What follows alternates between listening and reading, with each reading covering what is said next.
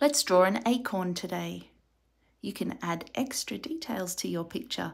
I'm going to draw some leaves and a little acorn house, a path, a tree, and the sun.